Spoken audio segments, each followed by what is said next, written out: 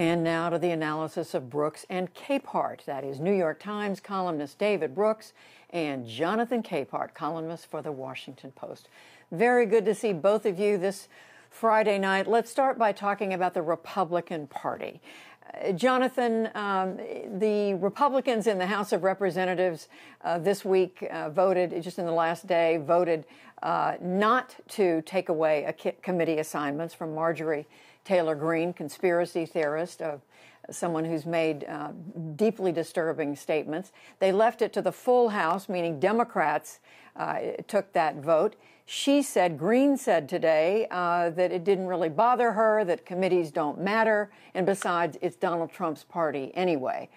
Is she right? Well, she's right in that it's Donald Trump's party, but she's wrong uh, about the fact that it doesn't matter it does matter. And if she doesn't think committee assignments or being assigned to a committee matters, then she shouldn't be in government. She should resign her seat if she doesn't believe that sitting on a committee, doing the work of being an elected representative and representing your constituents in Congress, if that doesn't matter, then perhaps she should go back to Georgia. Um, but this is indeed Donald Trump's party. And we saw it with the votes that were taken within the Republican caucus. Marjorie Taylor Greene was able to hold onto her committee seat because the vote was a public vote within the caucus. Liz Cheney was able to hold on to her to her leadership post within the Republican caucus because that vote was a secret ballot. And we talked all last week or all this week about how her hold on her leadership post was tenuous because the base was so angry, the caucus was so angry.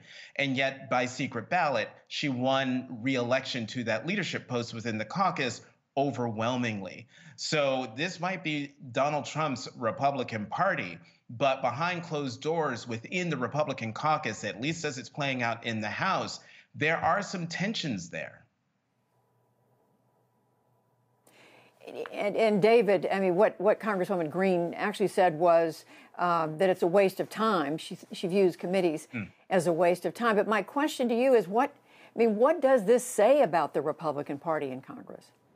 Yeah, I've decided to look on the bright side. Uh, I think this was the week we saw more anti Trump activity in the Republican Party than any week in the last five years. Uh, we had Mitch McConnell calling Marjorie Taylor Greene's ideas cancerous. Uh, Liz Cheney won by two to one. That was not automatic. Uh, and it shows there's a lot of people uh, who, in the House Republican caucus, who are not with the Trumpsters. They're a little intimidated by them, but in private, that's not where their views are. We had Nebraska Senator Ben Sasse with a very forthright uh, assault on the GOP of one of the counties in Nebraska who want to censure him. And so people are beginning to stand up in ways that haven't happened. And I think partly January 6th, partly looking at what the things that Greene believes, they see, as McConnell said, that it, these are just disastrous cancers for the party. And so it's not all the way there, but we're beginning to see much more of an assault than we saw before. And then just finally, we had 10 Republican senators break from a bit of their party and put out a COVID relief proposal. So I'm seeing progress. Well, let's pursue that. I mean, Jonathan, I interviewed uh, former Missouri Senator John Danforth this week, who who said that his party, who he says he's still a Republican, has become, he said, a grotesque caricature of what it what it once was. That it's no longer conservative. Uh, it's it's a it's a populist at the extremes.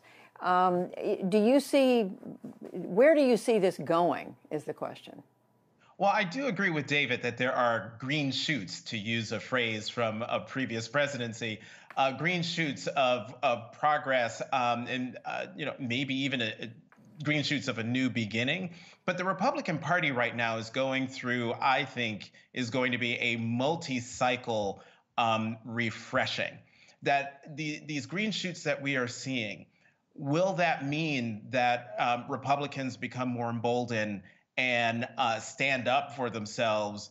And um, going into the midterm elections, uh, the non Trump Republicans get elected. Maybe even Republicans take over the House, but not with not with Trump Republicans.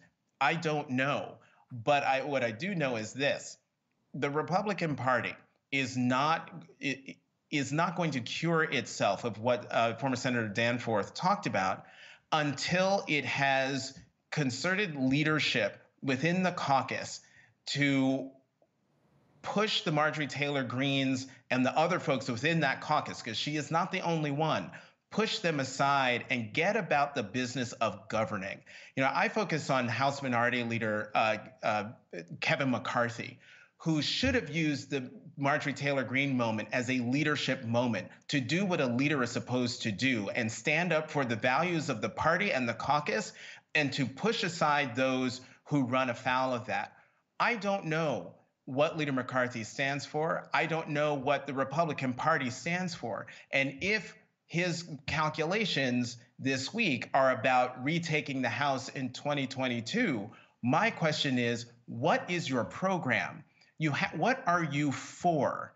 Because unless you can tell the American people and particularly folks in the districts around the country, unless you can tell people what the Republican Party will do and what Leader McCarthy would do as Speaker proactively, positively, then why should the American people look at the Republican Party as a viable alternative to the Democratic Party?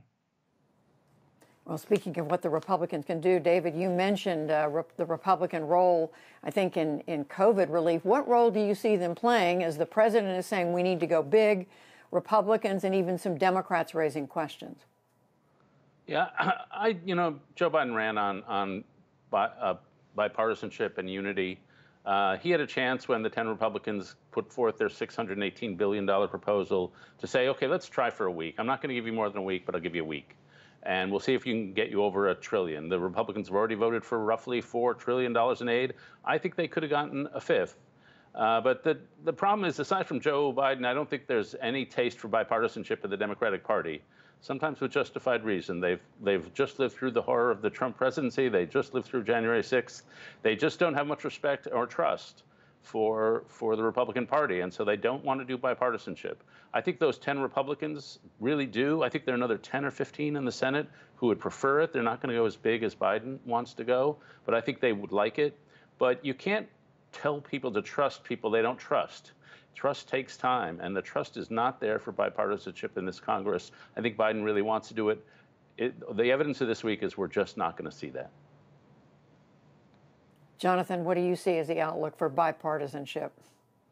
Well, it depends on your definition of bipartisanship. If bipartisanship you mean sitting with people from the other from the other side of the aisle talking through the issues, talking through policies and programs, and then as president of the United States, you decide that what you have heard does not meet the policy proposals that you have in mind and the mandate you feel you have from the American people, well, then if you go a different route, that doesn't mean that you haven't been bipartisan. It just means that you have a different governing philosophy.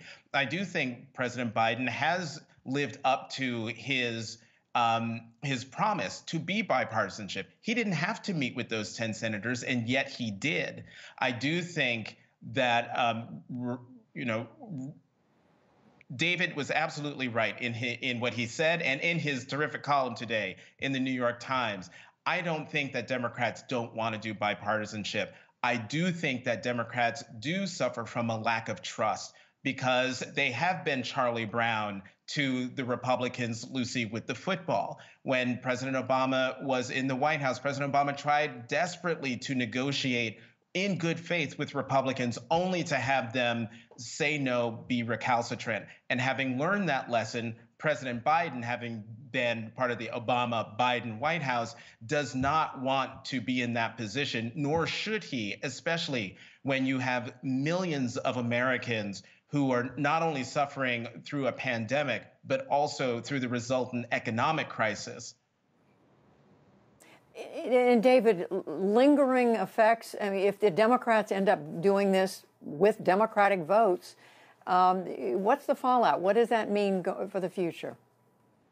Well, the people do really like bipartisanship. Our own Amy Walter had a good column this week saying that when you try to pass something with on a partisan basis, what happens is that piece of legislation tends to be unpopular because independents would rather you do it on a bipartisan basis. So I think in the long term, Democrats probably made it slightly more likely the Republicans will do very well in the midterm if they ram this through on a partisan basis. Having said that, you know, I, I think the size of our social problems are so large that $1.9 trillion basically given to the least fortunate among us is, is about the right size. Uh, and so uh, I, I, I, wish they had done it by partisanship. I wish the Republicans had come up to like 1.2 trillion. But I'm thinking about the country. I'm thinking about a country that is suffering from inequality, from decay, from declining prospects, from a rural urban income gap. And $1.9 trillion can go a long way to setting us on a different social path, a more equal social path. And so, despite my reservations about the way they're doing it, I still think it needs to be done. Just a little over a minute left. I want to get from both of you your expectations uh, for next week's impeachment trial, the second one, Jonathan, for President Trump. What do you what do you think will happen? Um, I think we will hear um, wrenching testimony in that the House managers, the House impeachment managers, will present a case that will bring the American people and the witnesses slash jurors back to that day on January 6th. I expect the moment to be probably one of the most impactful emotional moments in recent American history. But I also expect this trial to be short. I wouldn't be surprised if we're talking about the end of this trial a week from today. And David, what do you expect? Yeah, that sounds about right. I'm mostly struck by how Donald Trump has sort of vanished. He off, obviously, he's off Twitter, but he's not really taking any measures to be anywhere. And so this is going to be a one-sided affair, which will end in an acquittal, and then we'll get back to business. I'll be very curious to see if the nation tunes in or whether they're really ready to, to move on from the Trump era. Well, we are going to be covering it, and we are going to be asking the two of you about it uh, one week from tonight at exactly this time. David Brooks, Jonathan Capehart, thank you both. Thanks, Judy.